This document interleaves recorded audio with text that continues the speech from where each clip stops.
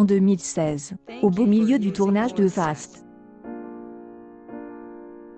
S en est suivi une brouille qui n'a jamais vraiment être ugly entre les deux stars. Aujourd'hui, Dwayne Johnson regrette d'avoir posté ce message. Ce n'était pas ma meilleure journée de partager ça. Je n'aurais pas dû faire ça. Parce qu'en fin de compte, cela va à l'encontre de mon ADN. Je ne partage pas des choses comme ça.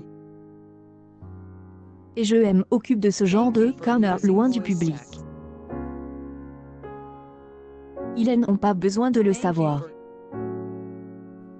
C'est et pourquoi je dis que ce N n'était pas ma meilleure journée, a-t-il assuré avec Notifer. Néanmoins, LX Catcher ne revient pas sur les propos qu'il a tenus qui, pour lui, étaient entièrement justifiés. Je pensais ce que j'y ai dit. Bien sûr.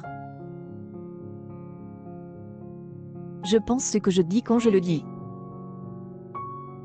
Mais elle exprimait publiquement et n'était pas la bonne chose à faire, a poursuivi Dwayne Johnson, avant de sous-entendre qu'il avait dit tout ce que beaucoup pensaient sur le tournage du film. Ça a provoqué une tempête de feu. Et curieusement, c'est comme si chaque membre de l'équipe avait trouvé son chemin vers moi et M avait remercié discrètement ou M avait envoyé un mot, a-t-il assuré. Toujours est-il que les deux acteurs étaient ensuite vus en prive pour laver leur linge sale, ce qui leur avait permis de se mettre des accords sur le fait qu'ils n'étaient pas des accords, que ce soit sur le plan philosophique, ou concernant la réalisation des un film.